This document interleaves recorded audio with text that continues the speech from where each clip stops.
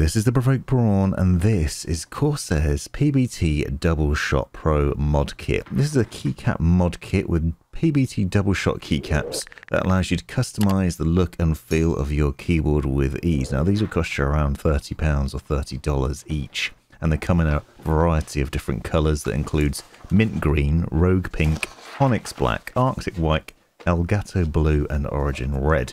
This is an unboxing video to show you what they're like, give you some close-up shots of them, talk about the ones that I like and what I think of them and what they look like. Now I've done a video separately on upgrading the Corsair K65 RGB Mini with these and I'll show some shots of that later on. I'll link to it separately. But what I wanted to do is a separate video in a bit more depth and also talk to you about how you can use this with a number of different keyboards because it's not just for Corsair keyboards. It is compatible with Corsair's K100 RGB, the K60 RGB Pro SE, K60 RGB Pro, K60 Pro, K65 RGB Mini, K70 RGB TKL, the newer version of that as well. But it will also work with any keyboard with a standard bottom row with Cherry MX style switches and so that offers up a number of different options and I'm going to show you a bit later on with a Roccat keyboard how you can install them on that and that doesn't even have Cherry MX so it's interesting option. Now included in the box you obviously get the full keycap set all the way up to a full-size keyboard and some O-rings to dampen the sound if necessary. This is the UK layout. Obviously, US layout is available as well, so you will notice some differences between those two.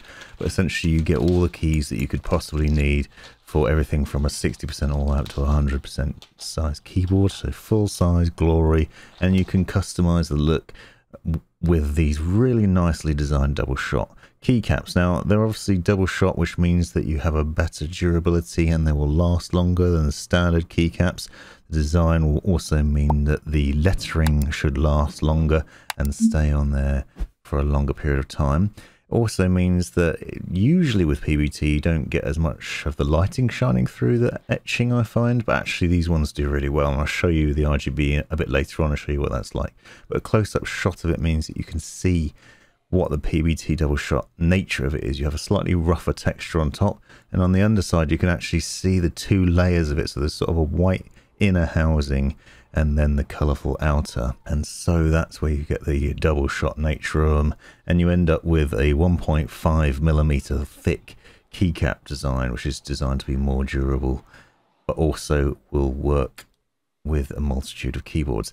Now, as I said, it's designed to work with a standard bottom row layout, so any keyboard that has that bottom row layout, it will work with, and they're really easy to install as well, and they also look magnificent. They're available in a variety of colours that I already said, and I'll link in the description as well as leaving more info down there so you can find out more about it. But for the setup that I went with originally, I used pink, white and green in order to create a watermelon effect on the K65 RGB Mini that you'll see in a minute. Obviously, you don't have to purchase multiple kits. It will get expensive if you do do that. Big thanks to Corsair for sending these over so I could show off the options and show what it's like. But even a single kit can really make a difference. The color difference is also interesting. I'll show you in a second what the colors look like when they're on a keyboard. I found, for example, that the blue is one of the nicer looking ones, but also perhaps the trickiest to see the lettering on. And so I actually preferred the green or the white. The pink's actually quite nice, although I'm not a big fan of pink normally. It actually stands out quite well. But what you'll see here is with the blue elements, for example, it's a bit harder to see the lettering on it. So it's really going to be a personal preference on which one you pick but it does open up a world of design possibilities because you obviously have the keycaps that you have as standard on the keyboard. In the case of the K65, they're black, and then you can mix in some other colors for a simple effect, or you can go to town and have multiple different keycap colors and really create an interesting look and feel to it. And you can see I've just installed a multitude of them here, and it looks pretty neat. And there's a variety of options open up to you, and you can see a, a close up of the lettering here it's a bit hard to do what I was talking about justice, but the blue, just the lettering isn't just quite as good, at least with the RGB lighting off. And obviously that's going to depend on the keyboard, but here you can see it with the lighting on. This is on the K65 RGB Mini again, and you can see how the lettering shines through there so it is a bit easier to see.